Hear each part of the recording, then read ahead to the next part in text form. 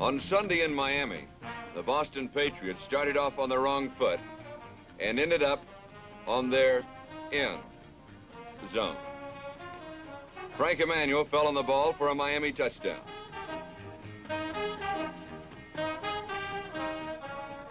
Boston's passing game was a study of ineptitude. Patriot quarterback Tom Sherman could not sustain a decent drive as he was either intercepted here by number 57 John Bramlett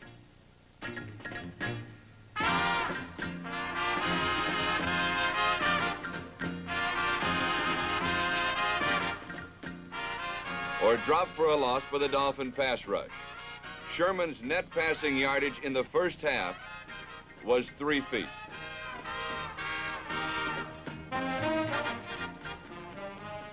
In direct opposition to Sherman was Dolphin quarterback Bob Griese, who was having no trouble making His 23-yard pass to number 21 Jim Kiick set up Larry Csonka's plunge for a touchdown.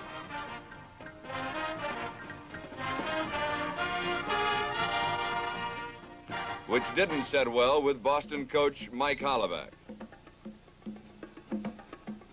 Perhaps the coach's displeasure sparked Jim Nance's 30-yard touchdown run. Unfortunately for them, this was Boston's only offensive outburst of the game.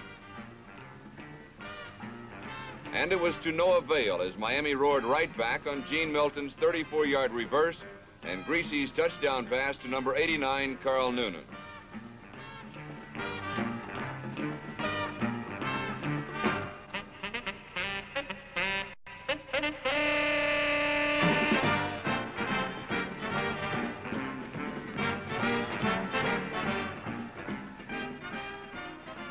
The Dolphins kicked off.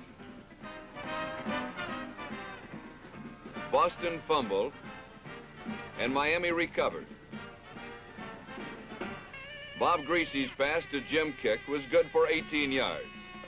Then from the seven, Griese scrambled right and hit Doug Moreau for a touchdown.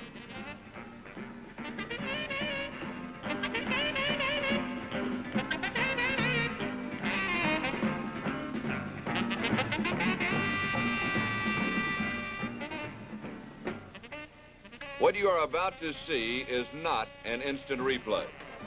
The Dolphins kicked off.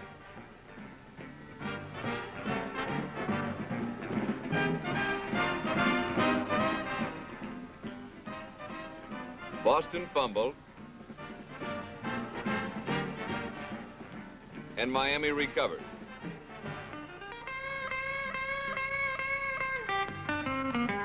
Bob Griese's pass to Doug Moreau was good for 24 yards.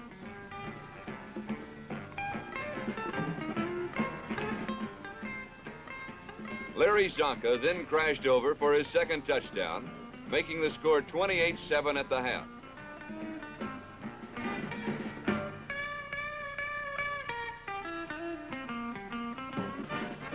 The second half saw no change in Boston's offense. Tom Sherman had little time to launch his passes, and when he did get them off, people like number 40 Dick Anderson made him wish he hadn't.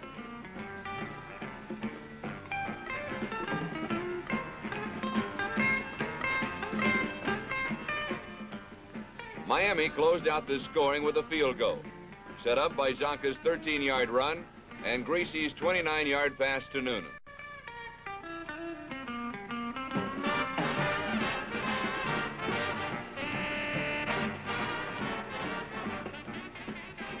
The 38-7 Miami victory was the Dolphins' first at home this year and should give the fans something to think about during the long, warm, and sunny winter.